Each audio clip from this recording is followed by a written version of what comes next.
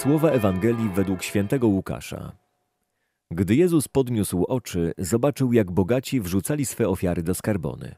Zobaczył też, jak uboga jakaś wdowa wrzuciła tam dwa pieniążki. I rzekł, prawdziwie powiadam wam, ta uboga wdowa wrzuciła więcej niż wszyscy inni. Wszyscy bowiem wrzucali na ofiarę z tego, co im zbywało.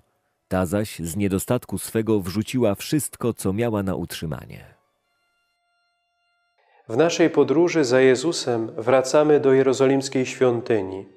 Tam spotykamy dziś ubogą wdowę, która składa ofiarę ze wszystkiego, co posiada. To bardzo ryzykowny krok z jej strony.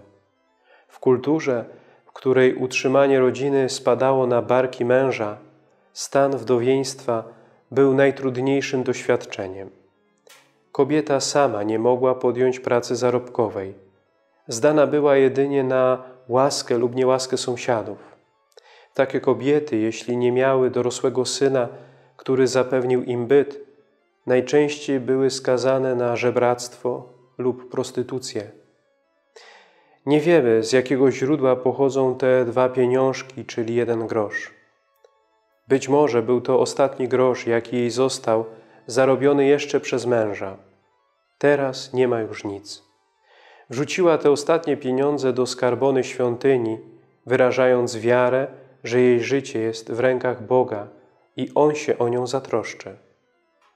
Oddając wszystko, co posiadała na swoje utrzymanie, potwierdziła, że od tej chwili całe jej życie należy do Boga. Ubóstwo, podobnie jak celibat, jest znakiem profetycznym, zapowiadającym nadejście Królestwa Bożego.